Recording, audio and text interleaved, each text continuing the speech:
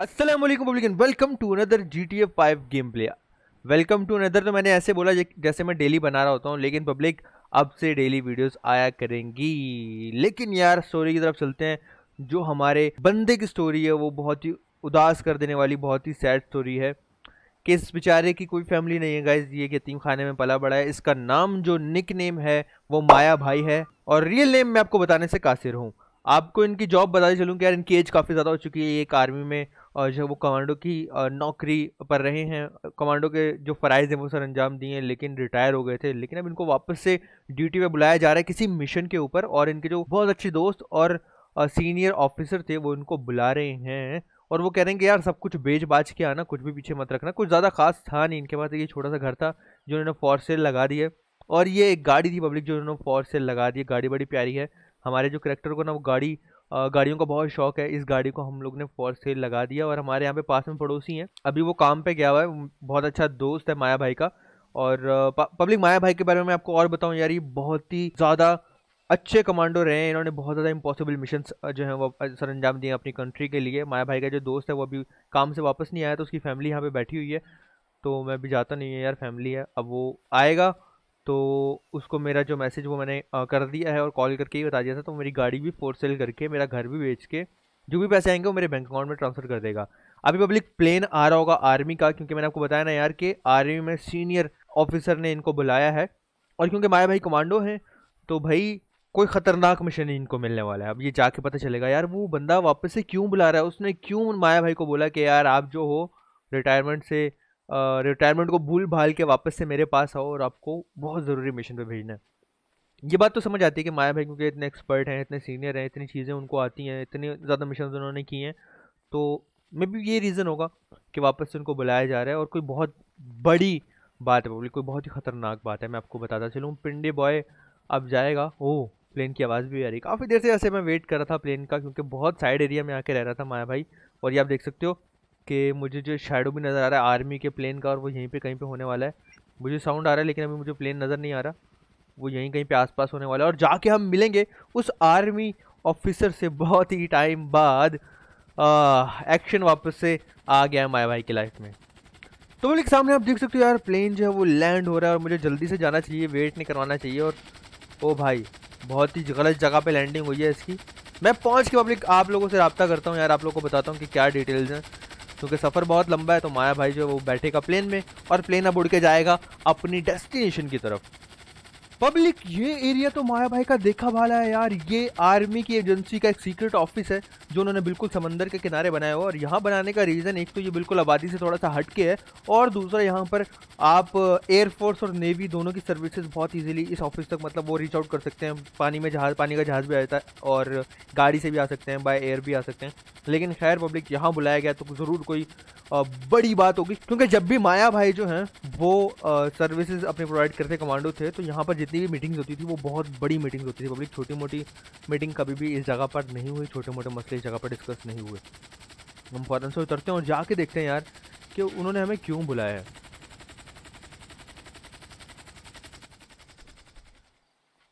Public ये ना जगह जो है ना, बहुत ज़्यादा जितनी दिखने में आपको सादी और बहुत ही सिंपल लग रही है उतनी है नहीं। इसके नीचे जो है ना पूरा एक आर्मी का बहुत बड़ा बेस है एक बहुत ज़्यादा ख़तरनाक जगह है जहाँ पर काफ़ी ज़्यादा एक्सपेंसिव और ख़तरनाक तरीके से तबाही मचाने वाले वेपन्स हैं। ये चीज़ें माया भाई को ऑलरेडी बताएँ क्योंकि यार वो यहाँ बहुत टाइम आ चुका है और वो एक सीनियर मेंबर रहा है यार कमांडोज़ में। उन्होंने बहुत अच्छे जो है वो सर, सर्विसेज़ प्रोवाइड की जैसे मैंने आपको बताया और उन्होंने अपनी कंट्री के लिए बहुत बहुत सी कुर्बानियाँ भी दी हैं। यही वो दोस्त है गाइस जो माया भाई का आर्मी ऑफिसर है और उसने बुलाया है। वो यहाँ पर आके गार्ड्स को शायद कोई इंस्ट्रक्शन दे रहा है। बात करता हूँ जाके। पब्लिक पब्लिक पब्लिक जो बातें मुझे इसने बताई है ना, वो बहुत ही ज़्यादा डेंजरस हैं। बहुत ज़्यादा डेंजरस है। मैं आपको बताता चलूँ यार। किसने बताया कि मुल्क के प्राइम मिनिस्टर को मारने की साजिश हो रही है? मुल्क के प्राइम मिनिस्टर को मारने के लिए जो हमारी दुश्मन कंट्री है उसने एक ऐसा जाल बिछाया है पब्लिक कि मैं आपको बता नहीं सकता। ओ अभी मैं भी गिरने वाला था। गज उस कंट्री ने हमारे प्राइम मिनिस्टर को मारने के लिए एक उनको गाड़ी गिफ्ट देने का फैसला किया है, जिस गाड़ी में एक ऐसा बम लगाया हुआ है जो अभी तक तो दुनिया के सामने नहीं आया। गाड़ी जैसे हमारे प्राइम मिनिस्टर की यूज़ में आएगी पब्लिक वो उस बम को ब्लास्ट कर देंगे। लेकिन हमारी कंट्री की जो एजेंसी पब्लिक उसको पता चल चुका है इस बारे में और वो चाहते हैं कि मैं वहाँ जाऊँ और किसी भी तरीके से उस गाड़ी को चुरा लूँ या फिर उस गाड़ी को डिस्ट्रॉय कर दूँ। अब मसला पब्लिक ये आ रहा है कि उस कंट्री में ऑलरेडी माया भाई ने जाके काफ़ी ज़्यादा खतरनाक जो है वो काम कर रखे हैं, काफ़ी ज़्यादा मिशन कर रखे हैं तो हो सकता है कि मेरे इतने टाइम बाद जाने के बावजूद भी वो कंट्री माया भाई को पहचान ले। लेकिन यार अपनी कंट्री के लिए कुछ भी अभी मैं फ़ौरन से जाता हूँ, वहाँ पहुँचाने का जिम्मा और पैसों की कोई कमी नहीं होने वाली, वो सारा हमारी आर्मी और सीक्रेट एजेंसी के ऊपर है। अभी ये मुझे फ़ौरन से उस कंट्री में लेके जाएँगे। और बाकी की बातें पब्लिक वहीं पे जाके होंगी, क्योंकि मेरा जल्द से जल्द वहाँ पहुँचना बहुत ज़रूरी है। तो पब्लिक हम फाइनली उस कंट्री में पहुँच चुके हैं यार, और यहाँ पर ना हमें एक प्राइवेट जेट के थ्रू लाया गया है, क्योंकि हमारी कंट्री के लिंक बहुत ज़्यादा हैं पब्लिक एजेंसी के लिंक बहुत ज़्यादा हैं। तो मैं यहाँ एक नई आइडेंटिटी के साथ एक बिजनेसमैन बन के आया हूँ, और जैसे काम हो जाएगा मुझे यहाँ से निकलना पड़ेगा फ़ौरन से बस। इतना कुछ एक्टिव नहीं है इनका एयरपोर्ट आई डोंट नो क्यों। यहाँ पे एम्प्लॉयज़ वगैरह खड़े हैं, शायद कोई फ़्लाइट नहीं आ रही मुल्क के हालात मेरा ख्याल कोई इनके भी अच्छे नहीं चल रहे। क्या रीज़न है पता नहीं बट अब मुझे बाहर जाके टैक्सी मंगवानी पड़ेगी और उसके बाद फ़ौरन से मुझे पब्लिक जाके अपने मिशन पे काम करना पड़ेगा यार। क्योंकि उस गाड़ी को हमारे प्राइम मिनिस्टर के पास जाने में भी कुछ ही दिन और रह गए हैं, उस कुछ दिन के अंदर मुझे कुछ भी करके उस गाड़ी को चुराना है या फिर उसको ठिकाने लगाना है। और अगर इतनी बड़ी साजिश वो कर रहे हैं तो उस गाड़ी में कुछ ना कुछ तो उन्होंने सिक्योरिटी रखी होगी, उस गाड़ी के लिए सिक्योरिटी रखी होगी। अभी वो कहाँ है, उसके लिए मुझे मालूम तो दी गई है मेरी एजेंसी की तरफ़ से। लेकिन मैं डायरेक्ट जाना नहीं चाहता यार, थोड़ा फ्रेश हो जाता हूँ, एक आधा दिन रेस्ट करता हूँ। उसके बाद थोड़ी रैकी करनी पड़ेगी और फिर उस गाड़ी को एक अच्छे प्लान के थ्रू हम लोग ठिकाने लगाएँगे। पब्लिक अभी ना मैं अपना गेटअप चेंज करने के लिए आया हूँ यार, थोड़ा ना लुक चेंज करके जाऊँगा और वहाँ पर थोड़े टाइम के लिए मुझे रैकी करनी पड़ेगी और देखना पड़ेगा यार सिक्योरिटी कैसी है। वहाँ से गाड़ी को चुराना आसान होने वाला है या फिर बहुत ज़्यादा मुश्किल होने वाला है, ये तो जाके पता चलेगा। लेकिन पहले थोड़ा सा गेटअप चेंज कर लेते हैं, कुछ ऐसी लुक अपना लेते हैं कि अगर हम हम किसी सीसीटीवी फुटेज में आ जाते हैं, किसी कैमरे में आ जाते हैं या किसी बंदे की नज़रों में आ जाते हैं, जो कि बहुत कॉमन बात है, ये चीज़ें होंगी। तो यार ये कि हमारी रियल आइडेंटिटी रिवील नहीं होने वाली।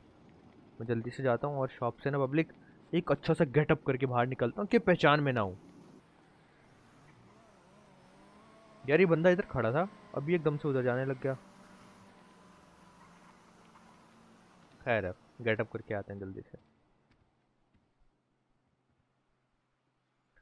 पब्लिक यहाँ पे ना मैंने एक जूनियर पुलिस ऑफिसर का जो है वो गेटअप किया है और ये इसलिए क्योंकि मैं ज़्यादा नज़रों में नहीं आऊँगा, लोग ज़्यादा शक नहीं करेंगे और ज़्यादा पूछताछ भी नहीं होगी मुझसे इजीली अपना काम कर पाऊँगा। लेकिन मुझे वेपन्स की बहुत ज़रूरत थी। तो इस कंट्री में जो हमारी एजेंसी के बंदे हैं ना, मैंने उनको कांटेक्ट किया पब्लिक वो मेरे लिए एक ऐसी गाड़ी लेके आ रहे हैं जिसके अंदर वेपन्स बड़े होंगे, लेकिन उससे बात करने का, की परमिशन मुझे नहीं है, मैं उससे बात नहीं कर सकता, बस वो आएगा, गाड़ी छोड़ेगा और चला जाएगा, क्योंकि अगर मैं बात करता हूँ तो वो थोड़ा सा उसका लुक ऐसा है, वो बंदा ऐसा है कि अगर कोई हमें देख लेगा तो शक करने लग जाएगा, और मैं शक की नज़रों में, किसी की नज़रों में नहीं आना चाहता थोड़ा सा वेट करते हैं, जैसे कोई गाड़ी आती है हमारे पास वेपन्स के साथ मैं जाऊँगा पब्लिक और उस जगह की रैकी स्टार्ट कर दूँगा। गाड़ी के अंदर वेपन्स होंगी, पुलिस की गाड़ी, पुलिस वाले की गाड़ी वैसे कुछ चेक नहीं करने वाला। देखने में तो काफ़ी इजी मिशन लग रहा है, मैं कर पाऊँगा, लेकिन असली सिचुएशन का अंदाज़ा तो उस जगह पर जाकर ही होगा, जहाँ पर पब्लिक हमारे कंट्री के प्रेसिडेंट को दी जाने वाली गाड़ी जो गिफ्ट कार है, वो खड़ी होगी। अभी थोड़ा सा वेट करना मुझे पड़ेगा यहाँ पर। और मुझे ना आसपास के, ओह उसको तो खांसी लगी हुई है।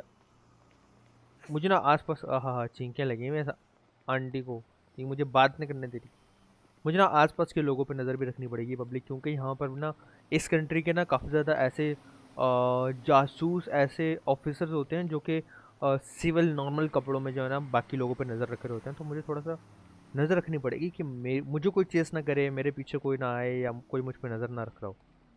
उस गाड़ी का वेट है यार, वो गाड़ी आ जाए, फिर यहाँ से निकला जाए। यार ओए नशई। गैस यहाँ पर ना ड्रग्स और गन स्मगलिंग और जितने भी इलीगल काम है ना, वो बहुत बड़े लेवल पे होते हैं। तो यहाँ पर चरसी पोड्री आपको नॉर्मली मिलेंगे। देखो, ये शराबी जा रहा है। तो ये लोग आपको यहाँ पे बहुत नॉर्मली मिलेंगे। ये कैसी कंट्री है। मुझे बहुत देर से वेट है यार। मेरी गाड़ी आ रही होगी। ओह। ये जो सामने बंदा खड़ा है, ये काफ़ी देर से मुझे देख रहा है। पब्लिक इसका फोकस हम पर ही है। वो देख रहे हो सामने खड़ा है? मैं ऐसे प्रिटेंड करता हूँ कि मैंने उसको नहीं देखा। मैं ऐसा एक्ट करूँगा कि उसको मेरे बारे में पता नहीं है। बट मुझे इस बंदे पे अब शक हो रहा है थोड़ा सा क्योंकि मैं कितनी देर से वॉक कर रहा था पब्लिक ये बंदा ना कंटिन्यूसली हमें घूरे जा रहा है। ओह, अभी हिलजुल कर रहा है वो। हो सकता है ऐसे ही खड़ा हो, लेकिन माया भाई जो है ना, वो एक कमांडो रहा है तो वो छोटी छोटी चीज़ों को इग्नोर नहीं करेगा पब्लिक वो देखो स्टिल वो बंदा इधर ही देख रहा है जहाँ मैं खैर मुझे इससे टेंशन और परेशानी की इतनी बात नहीं है, मुझे इससे परेशान नहीं होना चाहिए। अगर ये हमारे ऊपर नज़र रख रहा है पब्लिक तो हमें इससे बचना पड़ेगा। यार, लेकिन हमारा बंदा इतनी देर क्यों लगा रहा है? ये गाड़ी खड़ी है। क्या यही गाड़ी है? वही रोड क्रॉस कर रहा है वो। नहीं नहीं भागूँगा तो ज़्यादा नज़रों में आ जाऊँगा, और मुझे लग रहा है यही गाड़ी है। ये जो खड़ी है ना, शायद ये ना हो, करीब जाऊँगा, ना तो फिर पता चलेगा। लेकिन वो बंदा सामने देखो रोड क्रॉस कर रहा है। लेकिन वो, ओ, ये ये ये गैस ये हमारा बंदा है। मैं उसको पहचानता हूँ।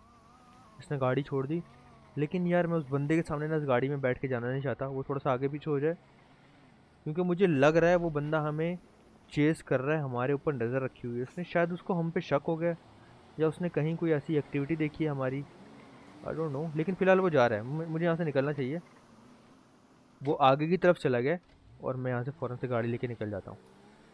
और पब्लिक उस जगह पे चलते हैं अब, जहाँ पर ना उस गाड़ी को रखा गया है, उसकी लोकेशन ऑलरेडी मेरे पास है। इसी गाड़ी में वेपन्स हैं और इसकी नंबर प्लेट वगैरह सब कुछ जो है वो फेक है तो उससे हमें परेशान नहीं होना चाहिए पब्लिक वो इतना कोई मसला क्रिएट नहीं होने वाला। हम इस गाड़ी को कभी भी छोड़ सकते हैं और इसकी आइडेंटिटी भी फेक है। तो मसले वाली कोई बात नहीं है।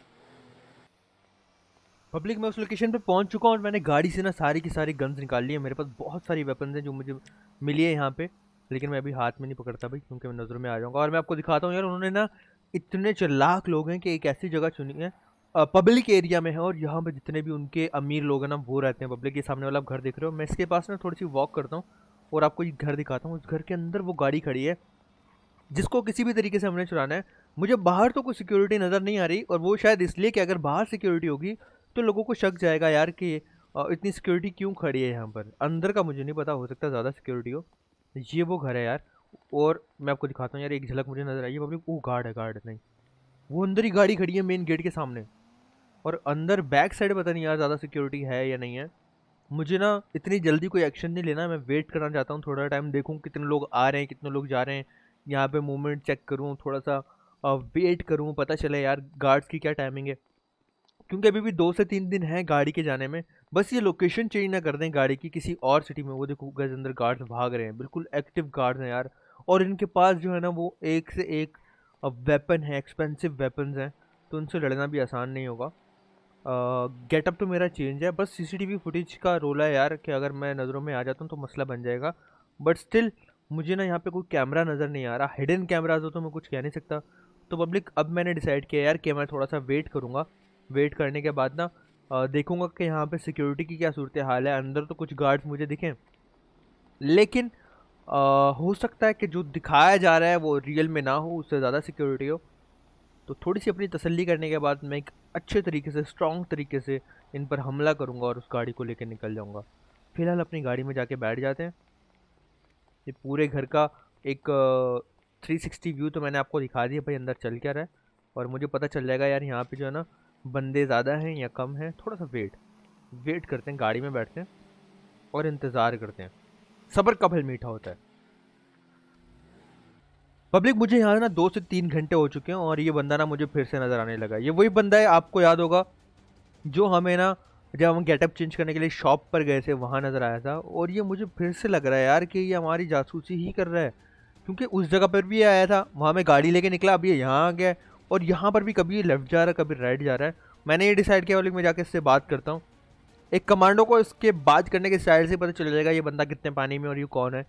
और अगर ये जासूस मुझे लगा तो मैं इसको मार दूँगा। मैंने ये डिसाइड किया क्योंकि मुझे लग रहा है ये हमारी रैकी कर रहा है और ये हमारे प्लान में ना बहुत ज़्यादा मसले क्रिएट कर देगा। तो मैं जाता हूँ और मैं इससे बात करता हूँ, यार, कि ये है कौन और ये हमें चेस क्यों कर रहा है? देखो प्रिटेंड ऐसे कर रहा है वही भाग रहा है। इसको गोली मारूं? इसको गोली? पब्लिक, अगर मैंने गोली मारी ना तो गार्ड्स को पता चल जाएगा। लेकिन वो भाग भी बहुत तेज़ रहा यार। इसको दफ़ा करो पब्लिक मैं फ़ौरन से ना। अंदर जाता हूँ, गाड़ी लेके निकलता हूँ, क्योंकि मुझे अब गड़बड़ लगने लगी है। मुझे लगने लगा मेरा मिशन फेल हो जाएगा इस तरह तो। इस बंदे ने हमारी काफ़ी एक्टिविटीज़ को देखा है। पब्लिक वो बंदा ना मुश्किलें क्रिएट करेगा और अब मैं ये डिसाइड कर चुका हूँ कि मुझे अंदर जाना है कमांडो एक्शन करना है और इन बंदों को डाउन करना है। कुछ बंदे छत पे हैं। लेट्स गो पब्लिक मुझे ना इनको फ़ौरन से डाउन करना पड़ेगा। पब्लिक यहाँ पर एक बंदा खड़ा है, उसको मैं स्नाइपर से डाउन करने की ट्राई करता हूँ।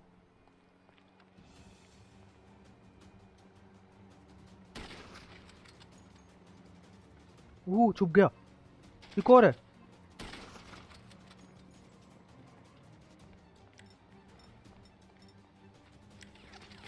वो मुझे मार रहे हैं, मुझे देख लिया उन्होंने।